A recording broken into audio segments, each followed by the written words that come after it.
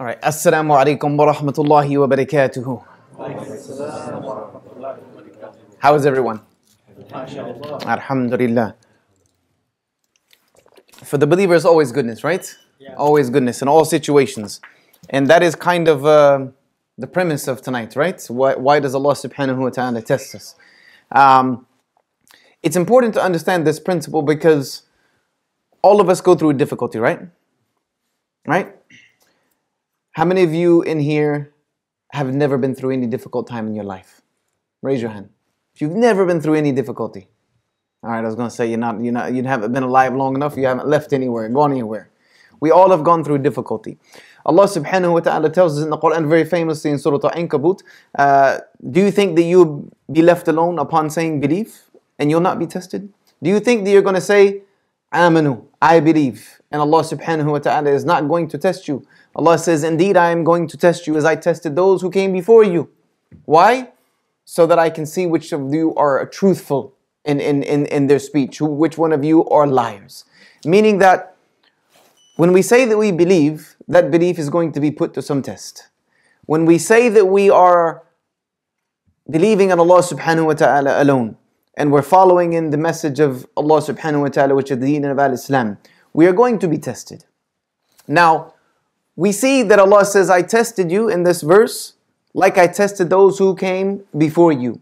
So, let's look at the, some of those who came before us from amongst the Anbiya, and see that Allah test them. Let's start with the first of us, Adam alayhi salam. Was he tested? Yes. Him and his wife were tested in the garden, right?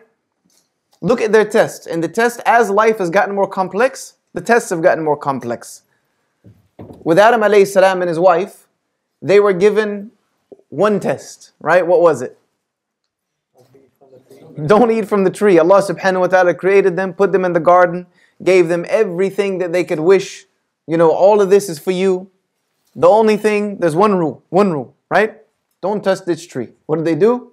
They, they broke the one rule. They did the one thing Allah asked them not to do. So they were tested. They were tested. But one of the things that we learn through this test, and there are many things that we have to learn through our tests. This is what we're going to talk about towards the end. Why does Allah test us? But one of the most beautiful things that I learned from the test of Adam and Eve in the garden is that that was needed. Allah subhanahu wa ta'ala understood the course of human uh, um, genealogy and how we would be and what we would become. Therefore, with the first of us, He needed to teach us about the nature of our relationship with Him subhanahu wa ta'ala. And that nature of our relationship with Him is a nature of relationship number one with the ibadah, that we worship Allah, but also with sins and repentance. That would be the core of our relationship. Like yes, Allah subhanahu wa ta'ala says He created us illa liya'budun, but to worship Him. But do we do that perpetually? No. None of us are even capable of doing that perpetually. But one thing that I know that we are capable of doing perpetually almost is uh, kullu bani Adam. Every son of Adam sins. That is something that is it is similar to every single human being. Is that we commit mistakes. We, we, we do what Allah has told us not to do. Al. But the best of those who sin are those who repent. So when Allah subhanahu wa ta'ala put Adam and Eve in the garden and told them not to eat from that tree, he knew good and well what? They were going to do it. He knew they were going to do it anyway. Ibn Kathir rahimahullah ta'ala, if you read his tafsir of these verses in Surah Al-Baqarah, where Allah subhanahu wa ta'ala talks about the creative creation of Adam and him being placed in the garden, being told not to eat from the tree and doing it anyway, there's a conversation that he records in a narration where Adam alayhi salam asked Allah, My Lord, did you not create me with your own two hands? And Allah says, Yes, I did. He said, Did you not breathe into me the breath of life and cause me to live? He said, Yes, I did. Did I not when I sneezed? Because we know the first thing that Adam did when he was alive, he sneezed. And Allah said, Yarhamukallah, may Allah have mercy upon you. That's why we say it to one another. Allah said, Yes, I did say that. He said, then he asked a very wise question, mashallah. He said, Did not, when you told me not to eat from that tree, didn't you know I was going to do it anyway? Didn't you know we were going to do it anyway? He said, Yeah, I know you're going to do it anyway. He said, Then you cannot, can you not forgive me for that which you knew I was going to do? And he said, Yes. And he taught them to say, the very famous, My Lord, I have wronged my own soul. If you do not forgive me and have mercy upon me, surely I'll be from amongst the losers. So Allah subhanahu wa ta'ala knew that they were going to do what he told them not to do.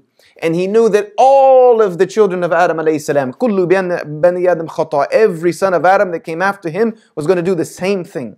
Therefore, he knew that he needed to teach us from the very beginning that the relationship between us and him will be one based upon repentance.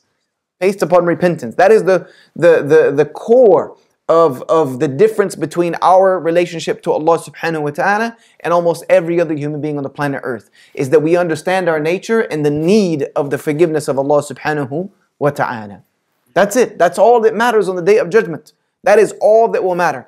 It will not matter how much money you had, how much wealth you had, how many degrees you had. It, none of this matters on the day of judgment. It won't even matter how many salah you prayed, how much zakah you gave, unless Allah subhanahu wa ta'ala accepts it from you. And on the day you meet Him, He says, For the stuff you did not do, and for the stuff I told you not to do and you did it anyway, I forgive you. That's the only, uh, that's it. That's all that matters. The scholars have termed forgiveness as thammanul jannah, the price of paradise. This is the key that enters you into the door of Jannah, is being forgiven. And the only people who will have an access to that key are the people of La ilaha illallah. That's it, the people of Tawheed and Allah subhanahu wa ta'ala. So he tested Adam alayhi salam. Nuh, because I don't want this to be long. This is a very, very long talk that I've done. I'm trying to summarize it for this for this uh, tour, inshaAllah ta'ala. Nuh alayhi salam was tested. He was tested like few others. Nuh alayhi salam, we know that he lived for nearly what? How many years? 950. Over 950, almost a thousand years Nuh was on this earth. How many people answered his call? A couple. A couple. A couple of people answered his call. Subhanallah. I have brothers who are in the da'wah today, right? Because I've been doing this for, for a long time now. Um, they'll they'll call me and ask me you know uh, questions about you know getting involved in dawah organizations or etc and then you know they'll get you know share with me their frustration you know that it's not really working. You know this is subhanallah nuh alayhi salam bore the message of tawheed to his people for nearly 1000 years and no one listened to him. And he never gave up. Why? Because it was not his job to bring people to islam just like I tell all the brothers and sisters in da'wah today, it is not our job to bring people to Islam. There is nowhere you can find for me in the Quran. There is nowhere you can find for me in the authentic narration of the Prophet where Allah tells you to bring people to Islam, to give shahadas. He says, Call people to my way. That's it. That's all you do. You're a caller. If they accept the invitation, alhamdulillah. If they don't accept the invitation, alhamdulillah. Either way, you continue to convey the message. That's all it is. That's all our job is. Our job as, as, as Muslims, and I, I, am not saying as da'is and da'iyas because every Muslim is supposed to be a caller. It's a command of Allah in the Quran. Udu'u. It's, a, it's an order to call into His way with what you know. Everybody always asks me, what if I don't, I don't know a lot about Islam? Then convey with what you know.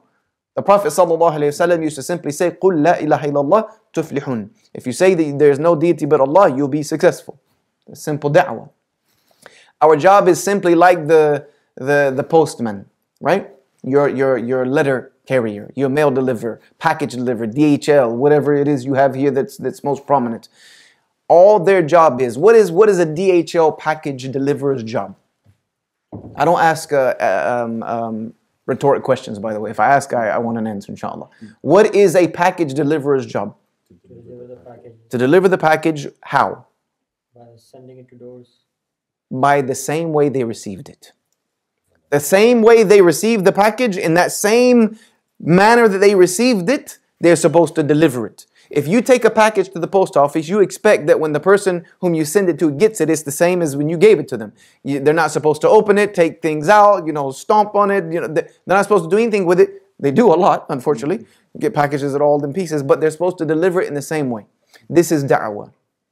The message that Allah has given us through the Quran, through the authentic narrations of the Prophet ﷺ, we deliver it exactly like that. We don't mess with it. We don't tamper it. We don't take anything away from it. We don't add anything to it. We don't need to sugarcoat it. We don't. We just hand it away, hand it over. Because at the end of the day, whether or not someone accepts Islam is up to Allah Subhanahu wa Taala. He is Al Hadi. He is the one who guides the hearts. We are only the one who's delivering the message. As simple as that. And this was Nuh alayhi salam. He just continued to deliver his message because that was his job. But he was also human. There's a human element to him, right? He became very frustrated with the, the, the corruption and, and, and the fisq and the fasad of his people. Like the whole world was just, at his time, was, was, was gone. So what did he do? He made dua against them and asked Allah subhanahu wa ta'ala to destroy his people. And Allah answered that dua. Allah answered that dua. Every prophet, whether you uh, uh, know it or not, every prophet was given one dua. Allah told them there is there is if there's one dua I hand to you that no matter what you ask me for, no matter how difficult it might seem, you ask me for it, I will give it to you. Every prophet had this dua. Nuh is going to be worried on the day of judgment about this dua because he's going to say, I used my dua against my people. When we are running around asking the Anbiya to help us, the first one to go to is Adam alayhi salam, and he'll say, I disobeyed my Rabb in the garden, nafsi nafsi, I can't help you. Nuh will say, I used, I destroyed my own people. I used that one dua that I knew Allah would give to me and I destroyed my own people. And Allah answered his dua, told him to build a boat. Whoever believes in you and enters in this boat will be saved. So this was the test of Nuh alayhi salam. He was tested. Ibrahim alayhi salam was tested. Ibrahim alayhi salam was tested at a very young age. Allah subhanahu wa ta'ala guided him, right? He was born into a family of idolaters. His father was someone who used to build idols. He was well respected for building idols that other people worshipped. Ibrahim was guided. Whom is the first person he tries to guide? His father. And it didn't go very well, did it? His father basically said, Get away from me with this nonsense. And if you don't stop it, there will, some harm will come to you. And then Ibrahim was trying to call his people, nobody listened. He thought of the idea, okay, I'm going to be very logical about this where there is there is room for logic in da'wah. As long as that logic stays within the framework of the Quran and the Sunnah it's use it to your advantage inshallah ta'ala. Because human beings at their base nature are logical. We are logical. That's just how we compute. So what did he do? He went and destroyed all of the idols hung the axe on the biggest one because he's like okay I'm going to make them think. You know what I mean? This is we want I want to give them the capacity to think for a moment. And we know the very famous story. They came in. What happened First and foremost, they, okay, this is Ibrahim. You know I mean? He's the only one who talks against our gods. So they went and called them and said, What did you do? They said, I don't. He's holding the axe. Why don't you ask the big one? And he said, You know that they told him, You know that these things can't speak. And he said, Why would you worship that which cannot speak? Or something which cannot defend itself? So it was his logic. But it enraged his people. It enraged his people. And he was again tested. They made a huge fire. It is said that this fire was so big that, it, you know, like birds were flying out of the sky that would fly over it because it would just cook them and they, they the, the fire was so big that no one could get close enough to put him in it, right? So they had to build a little catapult to sling him in. And as they were slinging him in, what did he do? He was just patient with Allah subhanahu wa ta'ala. Whatever is the will of Allah. Whatever Allah wills, that I, I, I accept. Allah subhanahu wa ta'ala ordered the fire, be cool for Ibrahim. Be cool for him and be a comfort for him. And he landed in it, nothing happened to him. So Ibrahim was tested, right? He was put through the test.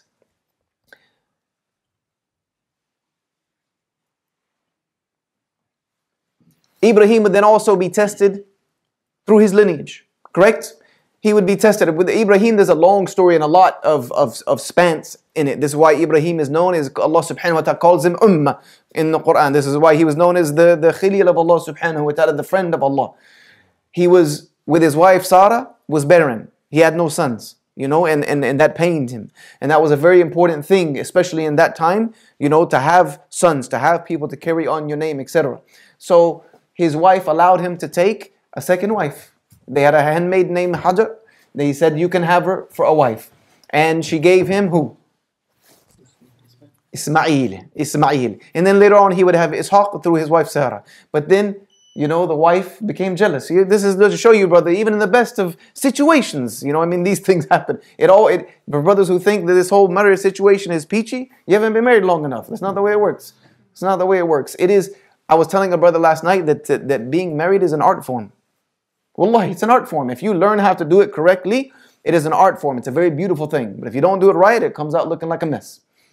So Ibrahim had to take his wife Hajar and his son Ismail and take them to the barren wilderness. Why? Because Allah subhanahu wa ta'ala told them to do so.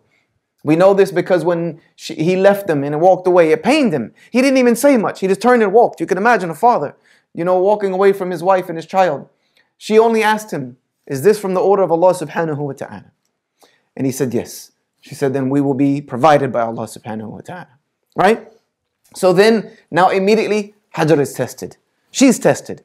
Left in the Arabian wilderness, desert. There's nothing there. There's nobody around. There's nothing. There's no water, no nothing.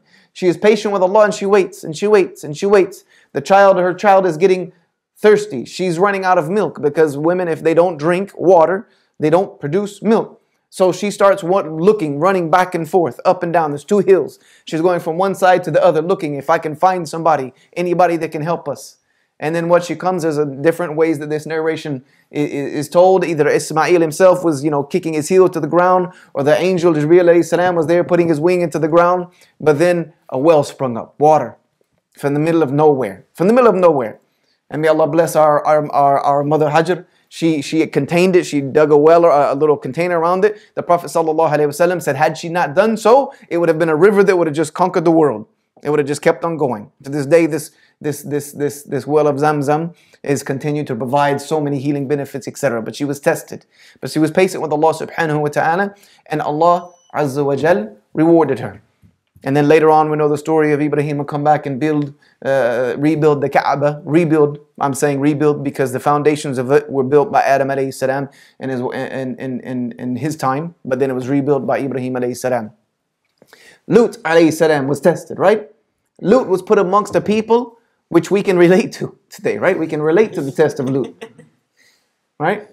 Lut was put amongst the people um, who, who, who were given to, to illicit uh, uh, indulgences. I'm, I'm trying to be as, as, as G rated and, and not get banned from the UK, inshallah.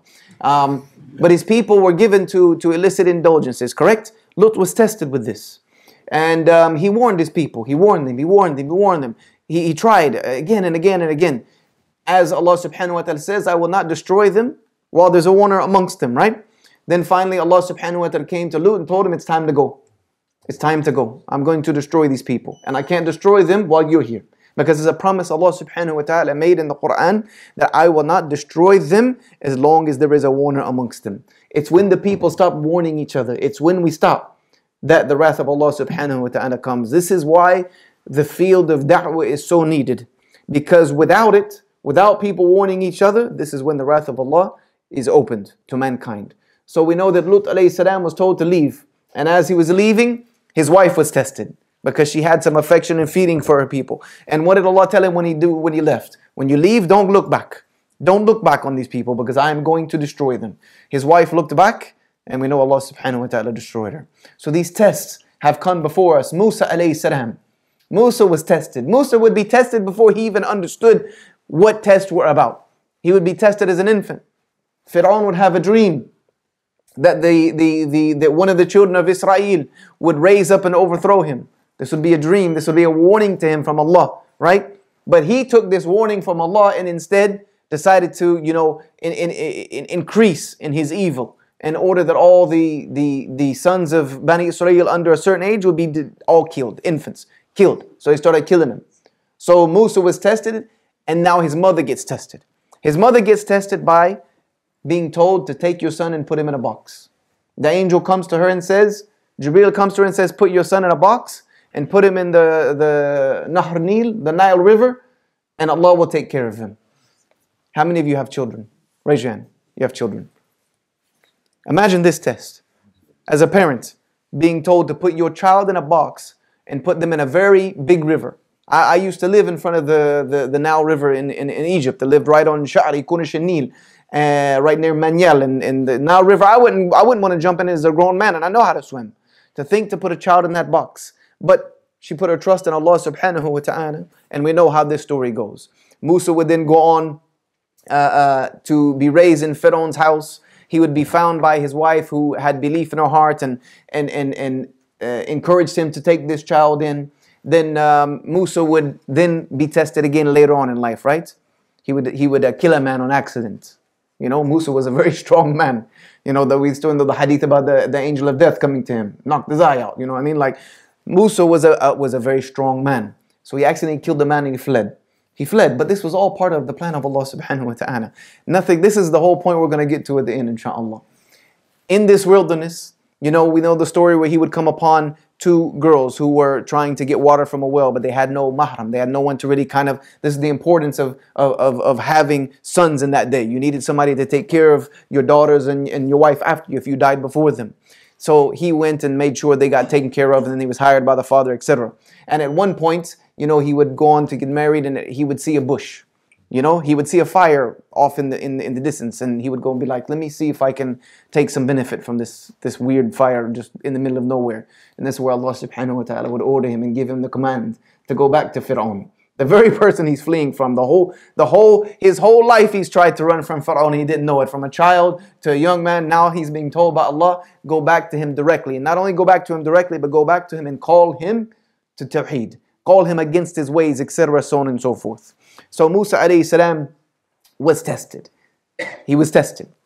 And we know that how that story goes. He would end up winning that test and Fir'aun would be destroyed. Now all of this to free the children of Israel from bondage of their slavery in Egypt. Would Musa ever see the outcome of his, uh, of his work? Would he ever see the fulfillment of, of the dream uh, uh, uh of Bani Israel to go back to, to, to Philistine? Who were Muslims at this time, by the way, were the Muslims. No, he wouldn't see it. Musa would die in that wilderness. He would die and be buried. It would be Yusha ibn Nun who would go and then finally be the one who conquer Jerusalem. He is mentioned by by by um, um, by what is the word I'm looking for? Not by name in the Quran, but he's but he's mentioned by brain just went dead. But he's mentioned when Allah Subhanahu wa Taala says that he Musa sent spies when they were in the wilderness. They sent spies into Philistine to see, you know, like what are we going to come upon when we go and try to conquer this place. And all the spies came back and said, what? They're giants. You know, like there, there are giants in this land. It said, Allah says, except for two, whom He had given guidance and had given a firm heart to. These two were Yusha and Caleb. Joshua and Caleb. They said what? Allah has made them small in our eyes through Iman, through faith. They are small in our eyes. So Musa was tested. The Anbiya came before us were tested. Yusuf alayhi salam. I don't want to go too long into his story, but we talked about this um, last Saturday at Masjid Humaira in London. The test of Yusuf salam was long, was long. He was first tested by his brothers, being betrayed by his own blood, thrown in a well.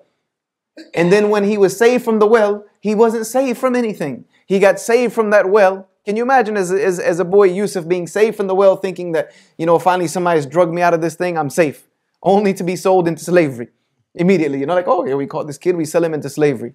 From that being, you know, test, he, he got some reprieve when he went to the to the house uh, of Aziz. And, and he treated him very well, treated him like a son. But then his wife, we know the story, the, the wife of Aziz tried to trick him into, into sleeping with her. He would refuse, then he would get, you know, dragged into, eventually thrown into prison to try to protect his wife's name he would become an interpreter of dreams. Allah subhanahu wa ta'ala would give him every everything along the way was exactly what he needed at the time. In the in the prison, Allah gave him the ability to interpret dreams. He interpreted two people's dreams perfectly. They came to him and said, What's going to happen to us? He said, One of you is going to become a very prominent and very wealthy and very, very known person. The other one, they're going to crucify you and the birds are going to pick from your head. Happened the same way for both of them. The man who went eventually to work for the king forgot about Yusuf until the king started having horrible dreams and wanting to know the, the, the, the, the reason behind them. And then he finally remembered, oh, yeah, that guy who told me not to forget about him, I forgot about him. But there's this kid in the prison, Yusuf. There's this man who is very good at interpreting dreams. He said, bring him to me. They went to go get Yusuf. Look at the test. Look at the test. For most of us, we'd have been like, that's it, we're done. We're getting out of prison. Yusuf said, nope. I am not leaving here until he clears my name. My honor is important to me. I want my name cleared. So the king wanted, he wanted his dream. So he brought the girls who were at the, uh, uh, the handmaidens of the wife and said, We know no bad of him. Finally, he brought the wife and said, You tell me the truth under threat of death. And she said, I, I, the, he, There is nothing wrong with him. The fault was in me. So Yusuf's honor was restored. He became a very famous man, a very well uh, respected man in, in, in the kingdom. He ended up meeting his own two brothers. We know the story about that. They didn't know who he was. He tricked them uh, gave them their money back that they paid for the food, also kept them and imprisoned them, you know, just to kind of get, get his way with them. Eventually, his father would see him again and know that his dream as a child came true. But look at the path, you know, look at the path. The dream he had as a child, he had no idea, right? He knew the dream and he believed in the dream of Allah subhanahu wa ta'ala, but he had no idea what the path was going to be. The The same with Musa, no idea. When his mother put him in that box, she had no idea that the path would be all of this way to bring him back to where he was. This is how Allah subhanahu wa ta'ala works. We know the story, very famous Dawood with Jalut, he would be tested. Isa alayhi salam would be tested. He would be tested by being turned against, he would be the Masih. The one that the Bani Israel been waiting for so long, Al Masih. The one they say they're still waiting on. And I'm telling him, when I talk to him, it's too late. He came and gone and you, you tried to crucify him. The very people whom he was sent to to be their Messiah, they turned against him. They plotted against him. They tried to have him killed. They tried to have him killed. The most, one of the greatest messengers of Allah subhanahu wa ta'ala to ever walk the face of the earth. They plotted to have him killed. They were unsuccessful in their plan. But he was tested. Jesus was tested. And he was going to be submissive to that test, as all the other Anbiya were. We don't know whether or not this statement is true. But it's one thing I try to point out to Christians that your Bible says when he was given this choice, when he knew that they were going to try to crucify him, what did he do? He went to pray. He prayed to whom? If he was God, to whom did he go to pray to? If you're in help, you go to someone who can help you, right? You run to someone who's powerful than you, more you don't if you are God, you don't need help. But he went and prayed and he said, What? Father, if it be, let this cup pass from me. But if not, whatever your will is, that I will submit to. Whatever's your will, I'll submit to it Because this was the path of, of, of, of a Muslim.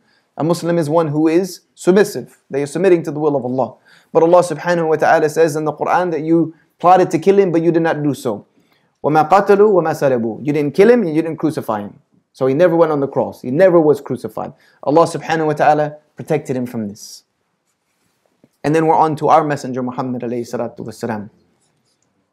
How much was he tested? How, how much was he tested?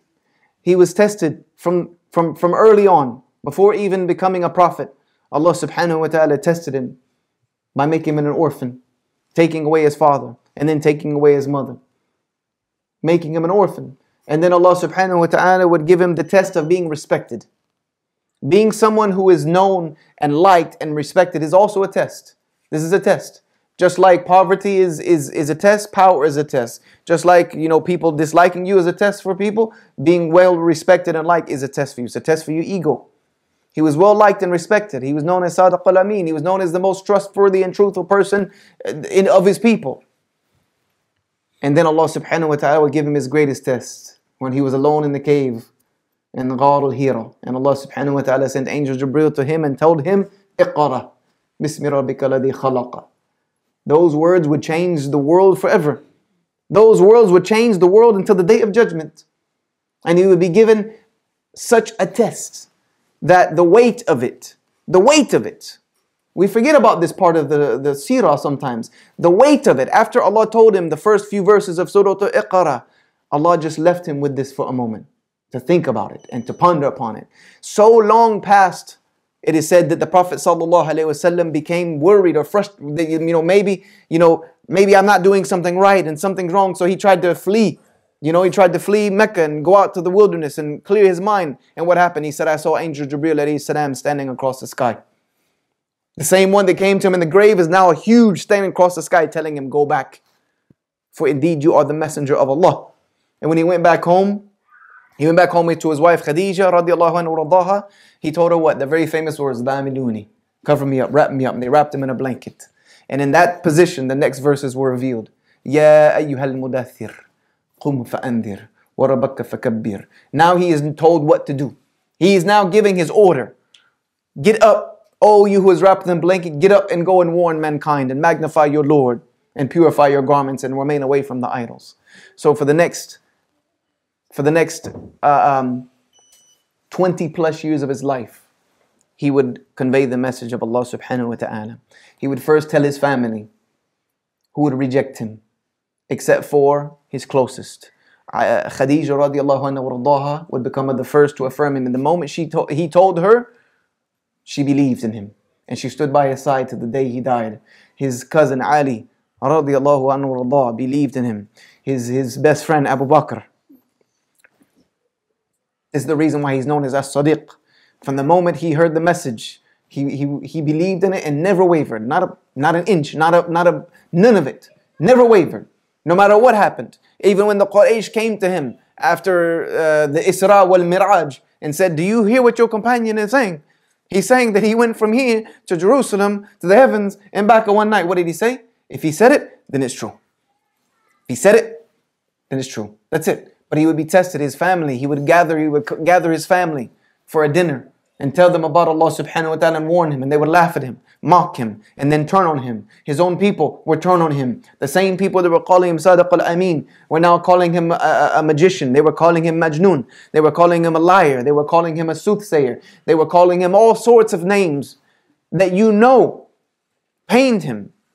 He's a human being, sallallahu alayhi wasallam. So these things are going to bother you. They are going to bother you. But his job is to continue. And he tried to use everything at his affordability. He even stood up on the, the, the, the, the tallest hill in Mecca and said, Oh people, if I told you there was an army on the other side of this hill, would you believe me? And they said, Of course we would. He said, Then know that I'm telling you that there's only one God. There's only one God. La ilaha illallah. That's it. Believe in that. And they said, Okay, we believe you in that, but we don't believe you in that. They turned on him. Eventually, he would lose his protection and his uncle Abu Talib, the only person who was stopping the Quraysh from, from hounding him. Then he would also lose his comfort in Khadijah radiallahu anhu Your wives are a comfort to you if you if you let them be. The Prophet ﷺ said this of the best of this dunya, of the best of this world, is a righteous spouse, is a good spouse. There's no there's no better gift than that from Allah. She was his comfort, she was his console. He lost her and Abu Talib both in, in very short span of time. And the walls of Quraysh gathered around him and plotted to take his life. He knew this. He knew they were plotting. So what did he do? He went to Taif. This is the best of creation. I want you to think about your situation and then think of now the best of creation. Are we even close to that? No. He went with his adopted son Zayd to Taif for three days, knocking on every door, and every door was slammed in his face. He sat with the leaders of, of the city of Taif and asked them to either accept Islam and save yourself or accept me and protect me from my own people. They rejected both and laughed at him and mocked at him and then told the people to throw him out of the city. Throw him out of the city. Literally stone him out of here. The human element, all of us could have been broken by now. Our Prophet ﷺ left Taif broken, battered, bloody, bruised. He stopped in an orchard outside of the city. Stopped in an orchard outside of the city to get some rest and asked Allah subhanahu wa ta'ala, made dua to him, what, do I, what, what should I do? What, like, what, what do I do now? What do I do now? We know that Allah subhanahu wa ta'ala sent Jibreel at this time. He was angered. He sent Jibreel with the angel that controls the mountains of the earth. And he told him, he said, go to Muhammad sallallahu alayhi wasallam. And if he allows you, destroy them. I've, I've given the permission. I've said it's okay. But it's up to him. If he gives you permission, destroy those people. There was the owners of this orchard, very famously, they had a, a servant known as Adas. They sent Adas with some food and drink because there was some a little bit of humanity in these people. And when Adas gave food and drink to the Prophet ﷺ, he said Bismillah before eating it. it. was a very unknown custom. But something it rang in Adas's fitrah. That where did you where did you get this custom? He asked Adas, Min ayn anta ya Adas? Where are you from, young man? He said, Min Nineveh. I'm from Nineveh. He said, he smiled. He said, if you're from Nineveh, then you're from the home of my brother Yunus, who was also tested in the belly of the fish. He said, how do you know of Yunus? These people don't know. And he told him who he was, simply gave him the da'wah, very simple and sweet. The man, Adas, dropped down in front of the Prophet ﷺ, started kissing his bloody feet, saying, Ashadu an la ilaha illallah wa ashadu annaka rasulullah. I bear witness there was no, no deity but Allah and that you are his messenger. Did the Prophet ﷺ guide that man? No. Allah did. Allah is reminding our Prophet at a very hard day. The Aisha radiallahu anha said when she was asked what was the worst day of the life of the Prophet ﷺ, was it the day his uncle died? Was it the day his wife dies? Was it the day of, of Uhud? Was, what was his worst day? She said it was the day of Ta'if. So when you think about your test, I want you to think about the worst day of the best of us. Life was that day. But Allah is reminding him, giving him a little reminder that this is why you are here, to guide people to me. Because not long after that, the angel Jibreel showed up with the angel of the mountains who was infuriated. He was angry, he was raging. And Jibreel said, Salamu alayka Rasulullah. Allah has sent me and given you permission, if you wish, the angel will take Al Akhshabain, the two mountains that surround both Mecca and Taif together, and he will push them together and destroy every one of your enemies. Allah is giving him a way out.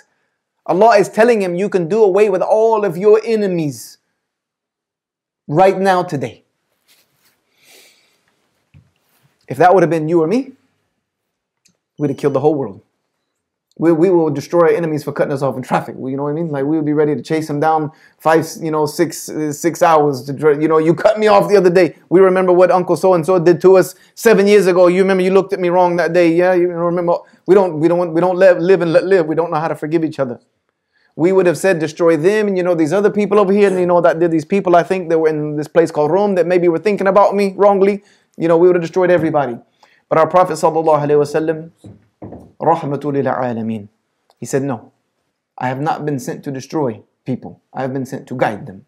He said, even if, even if someone from amongst their lineage, you know, way down the line, says La ilaha illallah, then what I have suffered with today was worth it. This is our Prophet wasallam, the example for us.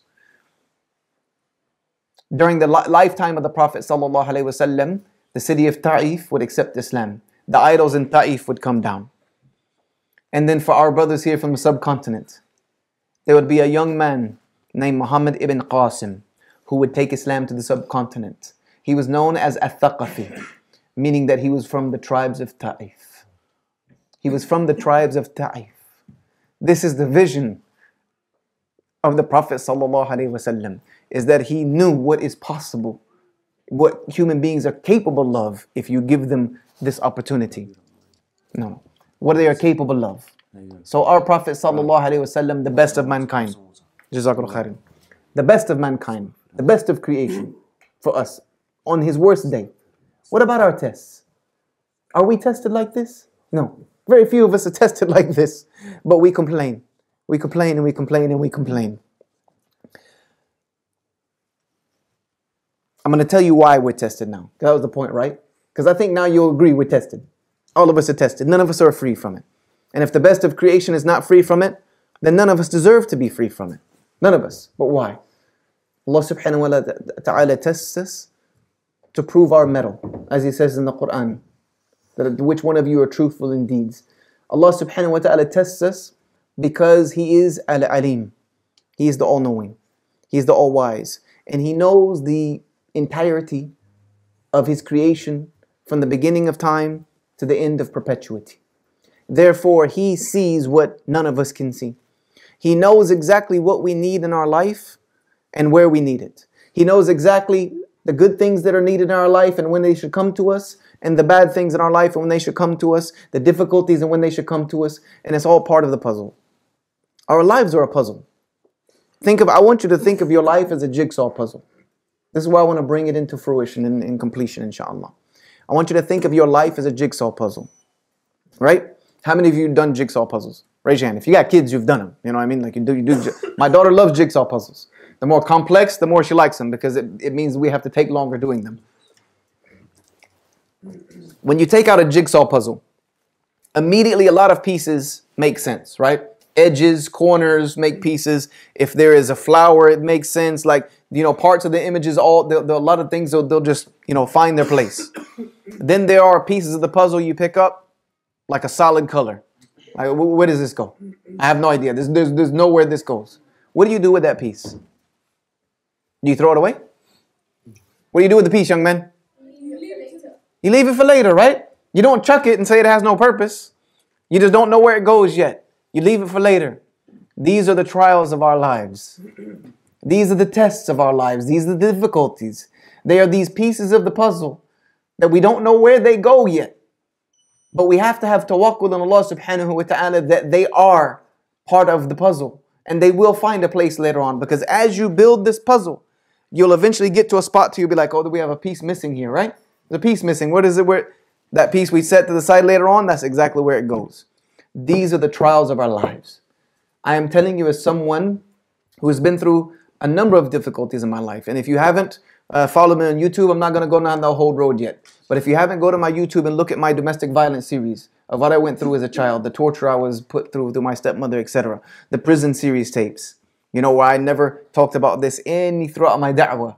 But two, a few, two months after accepting Islam, I was sentenced to five years in prison. How many people knew that? Yeah, good. A couple of you. Yeah, you watched it, yeah? I kept, why did I keep that to myself? Because I never wanted my da'wah to be based upon like, you know, some some some uh, uh, um, things that I had done. You know, I mean, like I wanted my relatability to be based upon the, the, the da'wah only. So I kept these things. I kept they they had no purpose. Now later on in life, when I'm realizing how much our youth are struggling, how many people are going through things, and I've been around long enough to have, have shown improved my, my, my work for the past 17 years, I let it all out. But those of you who've listened to my story, you may have remembered when I talk about beating up a young man at a payphone. I never talk about the outcome of that in my story, right? There's repercussions behind what you do in this life. I ended up being sentenced to five years in prison for beating up that young man. Was a test two months after becoming Muslim. Two months after accepting Islam, I walk into the courtroom thinking, you know, I've all my sin, you know, he told me all your sins are forgiven, you know what I mean? All, you know, everything is good now. Allah's on your side. Allah loves you. I go to prison thinking, you know, sure, I'm going to breeze right through this. And I get sentenced to five, seven years in prison. Five of them in prison and two on probation. It was a big test for me. But it ended up being the most beautiful part of my puzzle. Because what did I do for those five years? I studied my religion day in and day out every single day. From the moment I woke up to the moment I went to bed, I had a book in my hand, or uh, listening to a tape of the scholars, or, or writing a letter to uh, uh, Sheikh Muhammad Said Adli, who was a well known uh, uh, jurisprudence in South Carolina, who I'd gained a relationship with to ask questions about the deen. People knew me as Yusha with the books. You know what I mean? If you saw me, I probably had a book in my face and another under my arm.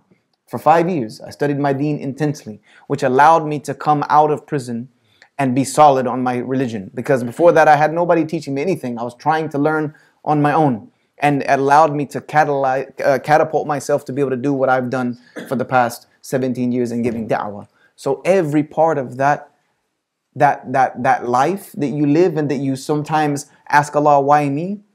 It's all part of a beautiful puzzle in Allah's plan. The Prophet said that nothing afflicts the Muslim of hardship or difficulty. Nothing. Nothing afflicts the Muslim from hardship or difficulty, or illness, or sorrow, or harm, or distress, not even the pricking of a thorn. It except for them is an expiation for their sins. It is a means of goodness for them. Allah puts us through difficulties for one of three reasons. And this is how we'll wrap it up, inshallah ta'ala. We'll take a few questions. Either number one, and I talked about this at the end of my talk in uh, Masjid Humaira last week. Sometimes Allah puts us into difficulties because we've asked for it. We've asked for it. How many of you would ever ask Allah to put you in the difficulty? No. How do we ask for it then? By dua. By dua. We ask Allah for something amazing, right? We ask Allah to grant us something good. We ask Allah to grant us something that is huge, right? And therefore, Allah wants to grant you that dua. But He's not going to just hand you things nilly willy. He's not just going to give you nothing, um, uh, something for nothing. So that dua is answered at the end of a test at the end of struggle, at the end of difficulty. What is the greatest dua that we ask for? Jannat al-Firdaus. We want the highest ranks of paradise. How do you think you get there? How do you think you get to the highest ranks of paradise? Through difficulty, through trials. Who, who's in the highest ranks of paradise? The Anbiya, the Anbiya, the Sadiqeen. Allah subhanahu wa ta'ala talks about the people who've been tested. So if you want that, then you're gonna have to go through some. Or you ask Allah to grant you, you know, uh, an amazing business. You know, you know, you know how businesses are built? I've been an entrepreneur for 17 years. They're built through hardship and difficulties and sometimes losses and failures and lessons and setbacks and over and over and over again. So Allah sometimes Allah is testing us because we've asked for it. We ask Allah to grant us patience, right? You know you get patience? You go through stuff. You go through stuff. I've learned that now, getting older. 43 this year, alhamdulillah. I've learned that patience comes through going through stuff. This doesn't come on its own. So sometimes we ask Allah for things that are going to cause us to have to go through some difficulty. Accept it with a smile. Because know that Allah is answering your dua. Because what you're wanting is on the other side. What you want is on the other side. If if somebody told you, you know, that there's this boggy swamp that you have them here in England all over the place, right? This boggy, horrible swamp, stinking, foul smelling, but on the other side of it's a million pounds. How, what would you do to get over there? Bro, we'd be killing each other to get over there. We'd be drowning. People would be sinking. We'd, we'd be thinking up of every solution. We'd go through whatever hardship and difficulty to get to the other side. This is where uh, Jannah lies. This is where our answers to our du'as lie. So we have to go through these things. Or Allah subhanahu wa ta'ala for the believer puts us into the difficulty to expiate us of our sins. We've done things, we've done things that Allah subhanahu wa ta'ala wants us to be forgiven for. We've asked Him to forgive us, right? And in order to forgive us, sometimes, sometimes we've done things that, that you know, uh, can't just be wiped away, you know, like that. So Allah subhanahu wa ta'ala puts us into difficulty and it erases our sins. And trust me, brothers and sisters, any difficulty that you go through in this life that is an expiation of your sins is the best thing for you. Because if you don't pay for it in this life, you answer to it on the next life in front of Allah subhanahu wa ta'ala. And there is only one form of punishment in the akhirah. Yeah?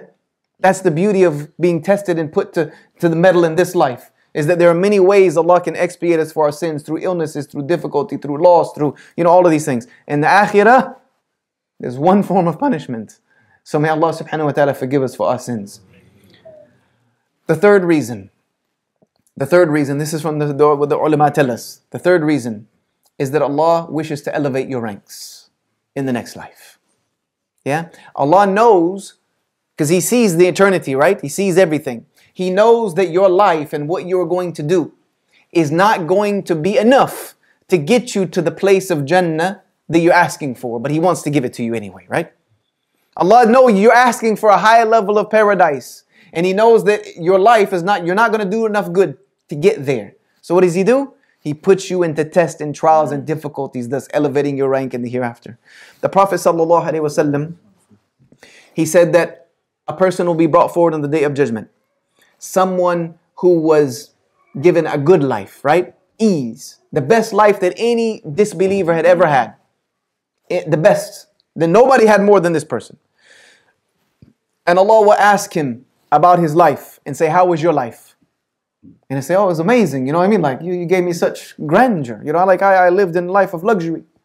And then he will be t- dipped in Jahannam for a moment. Just taste it. Taste what's waiting for you. Just feel it for a moment. He'll be brought back. You know, say, How was your life? You know, say, My life, there was no good in it. No good in it. It was all horrible. Why? Because it's the realities facing him now. Al-Haqqa. Then a person who struggled the most. The, the Muslim who went through the most difficulty. That no, had been tested like no other Muslim had ever been tested. Allah is going to bring them forward and say, How was your life? And they will complain and say, You know, I went through such trials and tribulations like nobody can imagine. Then Allah will allow them to experience paradise for a moment. For a moment. This is what the reward is for that. Bring them back. How was your life? Wallahi, there was no bad in it. No bad. No bad. No, no bad in it. No bad in it. And the Prophet ﷺ said that when the people who were not tested see the reward of those who were tested on the day of judgment, they will wish that their skin had been torn from them by combs of steel. They will wish they had come back to this world to be tested and go through difficulties and hardships. They'll wish. They'll wish on the day of judgment when they see the reward of those whom Allah subhanahu wa ta'ala put to test. They will wish that they could come back. So never ever miss out on these difficulties in life. They are opportunities. They are opportunities. They are opportunities to earn immense reward from Allah subhanahu wa ta'ala when we go through them. When we go through them. And none of it is bad. I'll finish with two very small things for you. I remember one time, this is just a personal story. I don't like to use personal stories too much anymore as I get older because I, I, feel it, has, it messes with a little bit of the niyyah. But anyway, I remember when in my younger, when I was a little bit younger and I had a little bit more fire in me. I used to uh, wear a thobe everywhere I go, right? Like even flying in the airports. Allah's given me hikmah now, you know what I mean, to, to, to learn these things. But I wear in the airport. This was, you know, not long after 9 11. We're talking about like not long, uh, maybe a year after I'd been out of prison, you know what I mean? Um, so 2003, 2004, like, you know, it was, it was, you wear a thobe at the airport, you are like, you know, people are looking at you like, especially in America, but I mean, I didn't care. Go. I was in, you know, and but every time I did that, I would get, you know, super special security. How many of you brothers get S's on your uh, your, your boarding passes uh, when you go to the airport, right? Yeah, a whole bunch of S's, right? Super special security, like it, it, you're you, you are a VIP. That is, they're going to pull you to the line, and not only are they going to pull you to the line once, they're probably going to do it again, and then before you get on the plane, they're going to do it again. You know, it's just the way it is. So I was getting pulled to the side at at, at, at uh, security they pulled, they saw my boarding pass. Said, "Oh, come on over here. You know, we got we got a super special VIP room for you." and there was these uh, these rednecks, right? And I know rednecks because I was born and raised around them.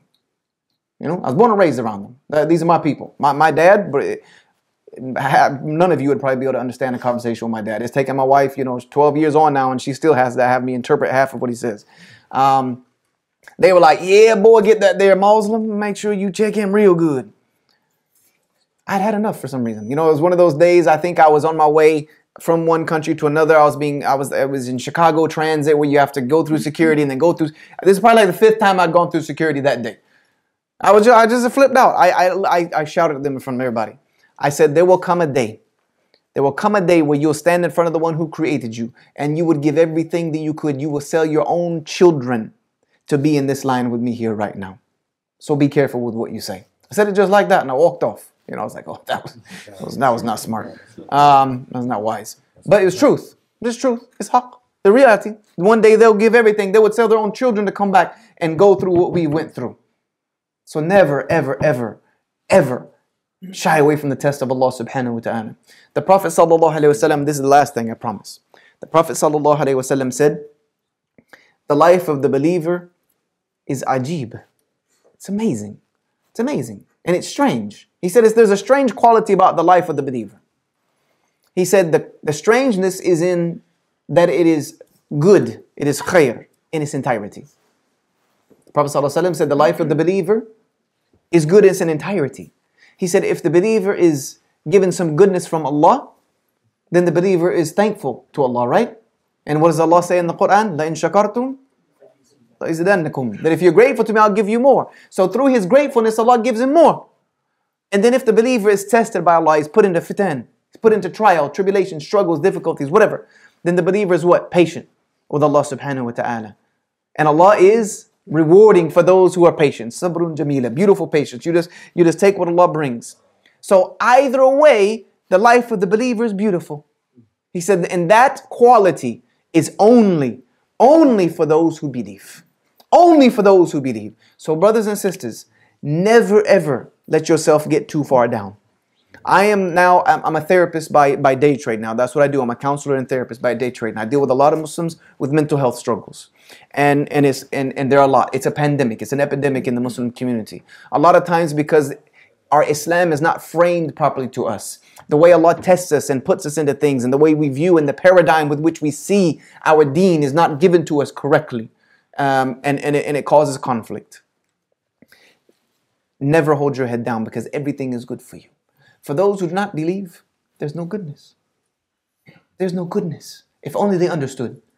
Even if Allah grants them everything in this world, it is only so that there's nothing for them on the day of judgment. Maybe there are some good people out there and Allah gives them their good in this life. He rewards them for their good because on the day of judgment there's nothing for them maybe a lightning of punishments. That's it. And if harm comes to them, it benefits them in the least. It does not give them any benefit because only on the day of judgment it's only going to be doubled and tripled and quadrupled when they are thrown into the fire. So, no, brothers and sisters, you've been given an honor, an izzah, that no other human beings other than the Muslims are given. Allah chooses very few people. If you look at the, the, the, the whole of humanity and how many people Allah chooses to rightly guide, it is so small. And, it, and for whatever reason, it's up to him. But for sure, Allah subhanahu wa ta'ala wrote it with him in a book that is with him 50,000 years before he decided to create anything. The Prophet said that 50,000 years before Allah decided to create anything, Allah decided to take his qadr. He told the pen. He first thing he created was what? The pen, right? Uktub, right. It's the first thing he decided to create because I want to set my will. He told the pen, write. The pen said, What should I write? He said, Write everything that will ever happen until the end, which is perpetuity. The Prophet ﷺ, after Isra wal Miraj, he came back. What did he say about that pen? He said, The pen has been lifted, the ink has become dry. And that book is with Allah. That book is what all every year Allah reveals His qadr for. That book, the Torah came from. That book, the Injil came book. That book, the Quran came from. And somewhere in that book, Allah wrote your name. He wrote your name and said that He would create you, who your parents would be, what you would be, and then He wrote Muslim. He willed it for you. I used to think that I came to Islam, you know, through through my efforts of studying the Bible. He wrote it. It's written. Maktub. It was written by Allah subhanahu wa ta'ala. I had done nothing. 50,000 years before existence, Allah willed that you would be a Muslim. It's a favor. It's an honor. And whatever I have to go through on this path of being a Muslim is an honor. When Allah grants me goodness, it's an honor. It's a favor for Him, and I'm thankful for it. When Allah puts me through difficulty, it's an honor. It's an honor to go through it because I'm, I'm going to learn something from it on the other mm-hmm. side. Even if you fail, brothers and sisters, you make mistakes, it's an honor if you learn from it. If you learn from it, if you learn from it and become wiser because of it, it is not a mistake, it is a lesson. And we all need these lessons in life. So hold your head up high, chin out, smile on your face, because you have been given something that is the most precious thing that can ever exist on the face of this planet, and it's intangible. It's guidance. It's guidance from Allah subhanahu wa ta'ala. Why are you tested? The question is, why should you not be tested? That should be the real question. When people come and ask me, why is Allah testing me?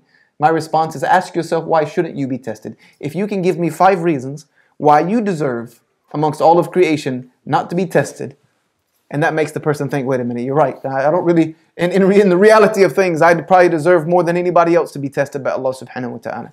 So take it all with a grain of salt and thank Him for every single thing. Because anything from Him towards you is goodness for you if you believe. Barakallahu fikum jami'an. Wassalamu alaikum wa rahmatullahi wa barakatuh.